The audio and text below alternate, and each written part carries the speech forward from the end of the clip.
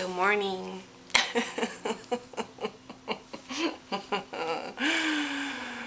so, um, excuse me if you can see any deep lines on my face. You know when you sleep really solid and really deep the second half of the night and uh, sometimes you wake up with white drool eye crests and lines on your face. Well I probably still have some. I know actually I do. I don't care. But the funny thing is um, my camera's usually set on record for videos but I took pictures for my one of my clients uh, I took pictures of his dogs um, I, I was doing it just to be thoughtful and I'll show you the pictures but when I went to push the button it took my picture. And the look on my face was instead of hitting record. So anyway I'll show you the pictures. They came out pretty pretty good. This is the female dog that um, I walk. She looks so noble. And this funny guy, he's the younger one. He's the moose. This is the one, it may look, um, it may look a bit deceiving, but that guy is like 80 pounds all muscle. ah, pulling me. so, yeah, I was just gonna leave the pictures in his living room without a card and just not say anything. And because uh, he has pictures of his other um, animals that he used to have in the past, and I noticed he didn't have any new ones of his two recent children because those are his children. So I'm doing this video for someone I know. I can't really say I know anyone on YouTube, so we'll just say a beautiful acquaintance that um, shows humility, and it truly shows that she has a love for the Lord Jesus Christ. And like anyone else, she's working out her own salvation. And like everyone else, including myself, we make mistakes along our walk. The importance is that we recognize the mistakes we make, we repent from them, turn away from them and we don't do them again. That's true repentance. It's not just saying sorry and then keep doing the same things over and over again and think that, you know, that's cool with our Father. He knows your heart. He knows where your heart is. Is your heart with Him? And do you truly want to come away from certain things that hurt Him? Or are you lying to yourself and essentially lying to the Lord Jesus Christ by just confessing with your mouth and your heart is not with him. So the topic I wanted to clear to clarify, excuse me, I'm not a speaker, is this misconception and this deception of lordship salvation. I want to make it very clear, and it's obvious for those of us who have eyes to see, that it's one of Satan's tactics and something that he's placed um, in this spiritual warfare. Ephesians 6:12 that it's twisting of understanding it's twisting of words and it only is causing confusion to those who don't have his Holy Spirit. If you have his Holy Spirit, you clearly see um, the deception of, of what Satan's doing by adding salvation to the word lordship. When we all know that you cannot be saved by anything of your own doing. You cannot be saved by carnal works. And you cannot be saved by any means but through the Lord Jesus Christ, uh, through his mercy, through his grace, and through faith. So, what I see, I'm only going by my own testimony, is adding salvation to lordship is what this is what's making people um, argue over something that doesn't exist. Lordship salvation doesn't exist. Lordship exists, salvation exists, but the two aren't together. Satan put those together to cause conflicts, to cause separation, and to cause chaos, and it does. Um, you have those of us who have his Holy Spirit who explain to those who do not that when you acquire his Holy Spirit and become born again, you naturally, and it's nat it's as natural as breathing, that you naturally are obedient. You understand his commandments from your heart and you repent from your old ways, your old self dies. That's what becoming born again actually means. Your old self dies because you were the walking dead before you came to Christ. You were dead in your sins.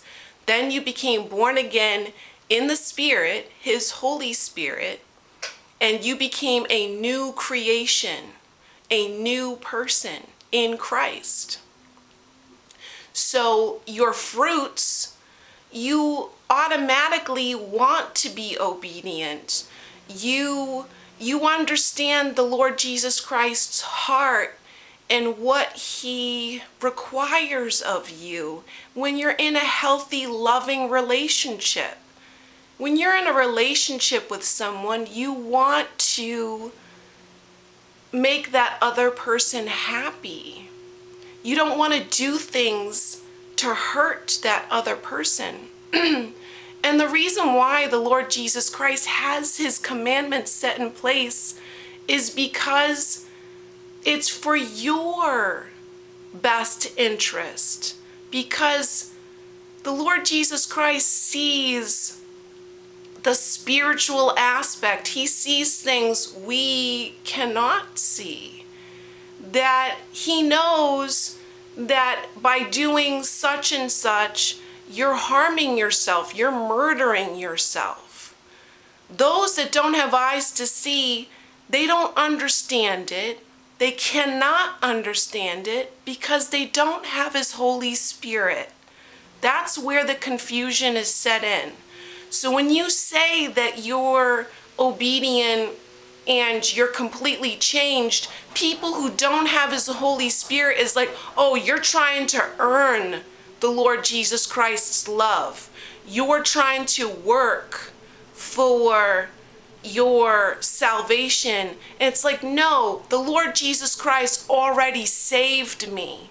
This is my fruit to show people that I'm a walking testimony of what He's done in my life. It's not to prove anything.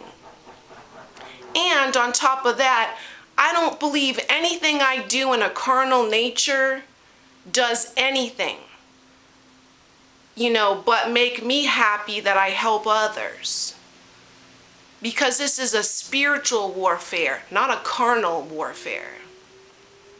So Satan's very clever by adding salvation to lordship and by making the word lordship sound negative and sound terrible and sound wrong. Because do we not add the Lord Jesus Christ? Do we not add that to his name? He is Lord. You have to submit and say that he is Lord. If not, and here's where the little clever part comes in. If you're not making the Jesus Christ Lord in your life, someone else is thinks he's above all and he is making himself Lord through your sins, through your misunderstanding, through your lack of knowledge. Hosea 4 6, my children perish due to the lack of knowledge. So, again, Satan's tactic is to have people come up to you to make you feel bad that you're making Jesus Christ Lord in your life. But the trickery is that if you're not making Jesus Lord in your life and you're leaning on your own understanding and that's basically kind of making yourself Lord in your life, but you're not Lord in your life, Satan's Lord in your life if Jesus is not. Satan's residing in your temple if you don't have his Holy Spirit and you acknowledge that there's only one Lord and that's Jesus Christ. Now, people who just throw that lordship salvation, there's no such thing. It there's no such thing. Okay, again, let me remind you that it's Satan's clever tactic to peep for people who don't understand because again if you don't have his holy spirit you're under a strong delusion. You can't see. You cannot hear. That you're confused because here's the other thing it's very clear in Isaiah chapter 2 verse 22 listen to no man. That's the Lord Jesus Christ I, it's not part of the commandments, but it is his command to you to not listen to man. He didn't say listen to some men, listen to any man. He said listen to no man. Because you will be accursed. You will be under strong delusion. You will be confused because you're listening to other confused people who have no idea what they're talking about because they don't have his Holy Spirit. They're going down that path, that wide path to destruction. Narrow and few find that path. Few who actually have acquired his Holy Spirit, which is understanding. I'm going to read one scripture and close it off. John chapter 16, verse 13. Howbeit when he, the Spirit of truth, is come, he will guide you into all truth. For he shall not speak of himself, but whatsoever he shall hear, that shall he speak, and he will shew you things to come. So the Holy Spirit leads you into all truth. So when you're listening to man, man is a stumbling block.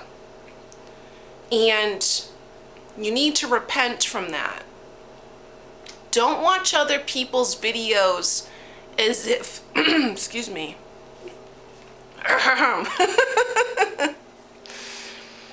as if they're teachers.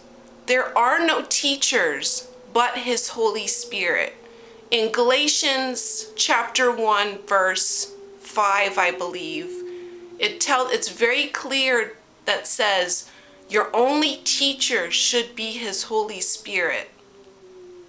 So man is a stumbling block because most men are going down that path to destruction. I'm not, I would never, sorry, that was my laundry. I would never try to mislead anyone because then I'm in trouble. And I would never put myself out there to to endanger my own um, salvation by giving the wrong information. I'm only trying to plant good seeds. That's it. Truthful seeds that the Lord Jesus Christ waters if you allow him to. If you humble yourself. That's the whole key. Is if you can't let go of your prideful, arrogant, know-it-all ways and let go of all the indoctrination and lies that the world has instilled in you, the Lord Jesus Christ can't fill a cup that's already filled. You have to empty your cup. You have to empty all of it out, all the indoctrination, before He can fill your cup up with truth only. I hope this was helpful. I'm not a teacher. I do the best I can, but I do love you, and I hope that this was very clear. There's no such thing as Lordship salvation, but you do need to make Jesus Christ Lord in your life, or someone else, something else, the Antichrist spirit, will reside in your temple, and that spirit will make itself Lord in your life. It is really that black and white. You make Jesus Christ Lord in your life and make the right decision, or the decision's going to be made for you. I love you, and God bless.